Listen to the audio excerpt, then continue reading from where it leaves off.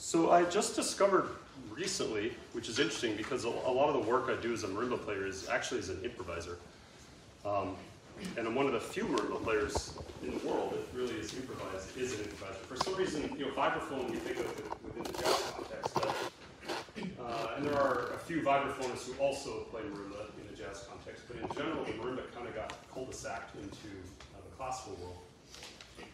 But one of the things I like to do as an improviser is prepare the instrument, which is to put things on it to expand the technical palette.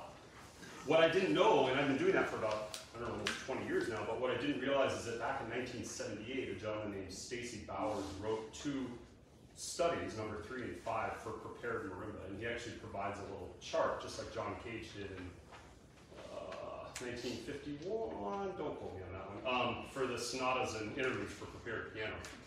Uh, so all the things you see here, I've got these little pieces of metal and this um, kind of plastic and these rubber things. These are all part of the chart that he shows.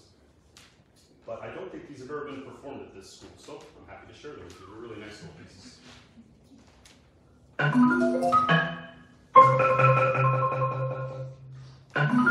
you.